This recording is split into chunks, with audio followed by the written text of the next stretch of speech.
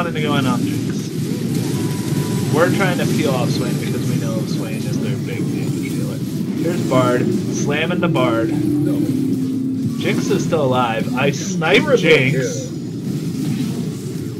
I'm like, alright, here's Sivir. Poke, miss. She's like, alright, I'm gonna distract, slam. Quadra kill. And right here, Sona's coming up. Boom, boom, boom. Oh, Literally would have killed her. oh no.